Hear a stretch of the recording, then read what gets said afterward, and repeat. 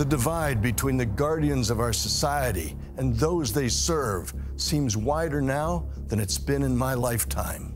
But no one can doubt being a law enforcement officer is becoming increasingly dangerous.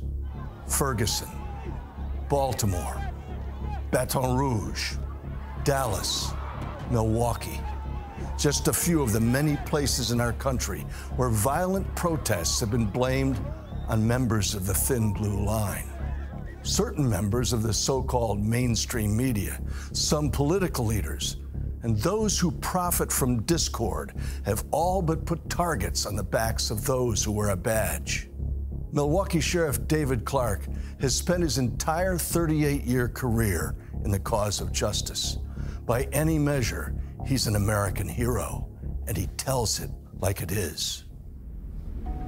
When you look back at the time that I was growing up, Milwaukee was a middle class city, a lot of industry, a lot of jobs, a lot of well paying family supporting jobs.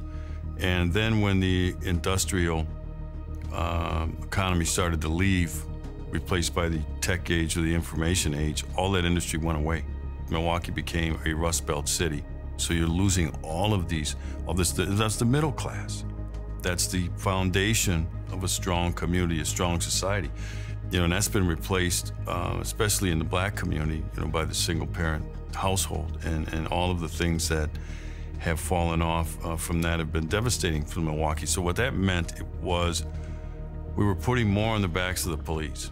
You know, when I started in policing compared to today, it was easy. And you didn't see it as easy back then, but it was because you had a more stable community. You know, the police were seen as, you know, guardians and, and protectors. The officers knew the people in their squad area, their beat area, if they walked the beat, even in, in a patrol car. So there was a connection, there was a familiarity. You didn't have the single parent ratio that we have today. 70% of black kids are born into a single family home, 70%. When I grew up as a kid, first of all, you know who my first authority figure was? My dad. And my dad demanded discipline of me. Demanded. He didn't ask for it. Demanded it. He taught me how to respect authority. So when I left the house during the day and I went to school, in grade school, you know who became the authority figure? The teacher. They were an authority figure. And so when I looked, I saw my dad. I said, that's the authority figure. These young kids don't respect their parents, don't respect teachers at school, don't respect, uh, respect other adults in their lives as authority figures. Now they run up against the ultimate authority figure, the cop. And when that meets that undisciplined young kid with no respect for authority meets that authority figure in the form of a uniform and a badge, the uniform's got to win. I'll tell you why, because we are on the front lines of order liberty. We have to enforce the law. We can't back down. Teachers back down now. And the kid sees that. He says, teacher, I, you know, they'll, they'll curse the teacher out in the classroom. All right? They'll do the same thing on the street. So we have to win. We have to win because ordered liberty is at stake.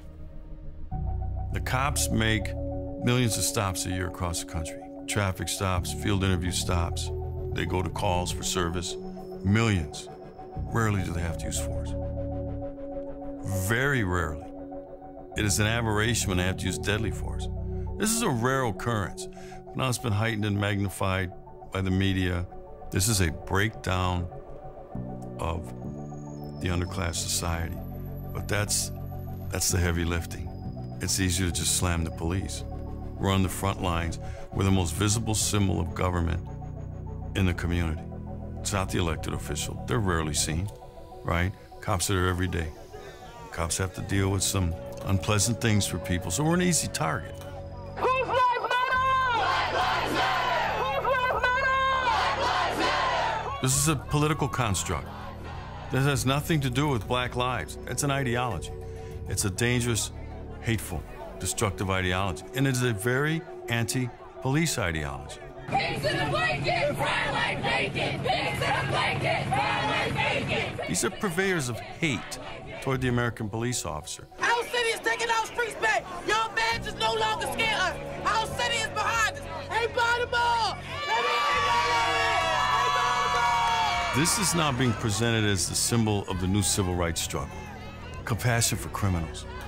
We've gone from Rosa Parks, was an icon in the civil rights struggle, Emmett Till, Dr. Martin Luther King, and others. We've gone from that to Mike Brown, to Eric Garner, to Freddie Gray, to Sandra Bland. Those are icons in the civil rights struggle. No, no, those are criminals engaged in behavior that contributed toward what happened to them at the end. That's what bothers me more is that, wait a minute, wait a minute. No, we've come a long way in the civil rights struggle.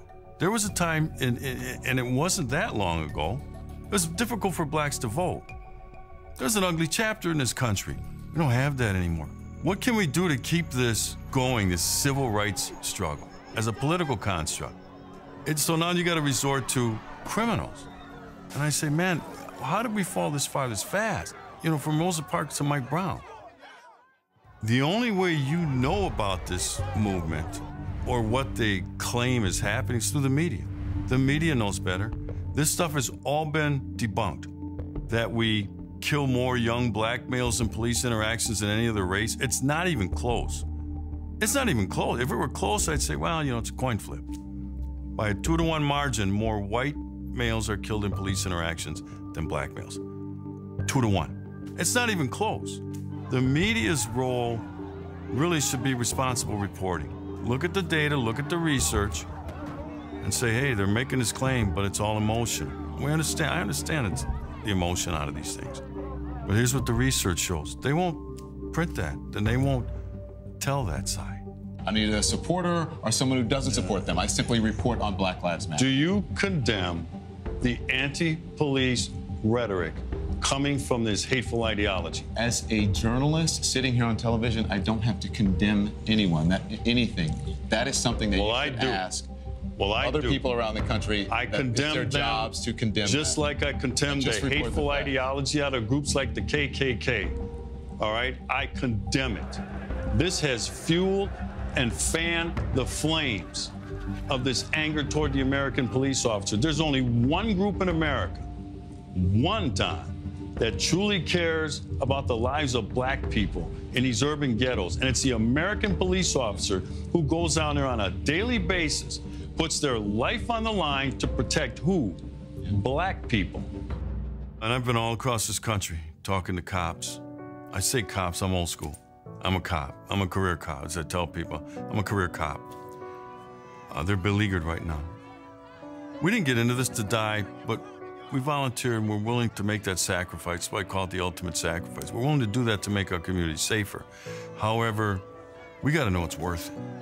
These men and women are leaving behind spouses, children, siblings, parents, and they want to know hey, this was worth it. So when I see what's going on today, and I go to the Law Enforcement Officers Memorial Wall in Washington, D.C., I stand in the middle of that plaza and I say to myself, what must they be thinking?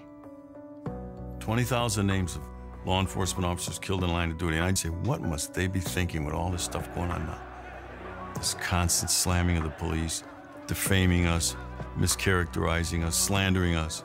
If you lost a sibling, if you lost a spouse, if you lost a son or daughter killed in a line of duty as a cop, what must you be thinking? Their sacrifice was in vain. I know cops. Cops are good people. Are we perfect? Not by any stretch of the imagination. Are, are law enforcement agencies perfect? Not even close. Being imperfect is part of the human condition. You know what I expect from my people? I send them out every day. They know it. Excellence, not perfection. Excellence. And from law enforcement officers all across this country, we get excellence. Hopefully, our next president will be the kind of leader who sets an example of respect for those who protect and serve in uniform and who admires them as much as I do. For Frontlines on NRA News, I'm Oliver North.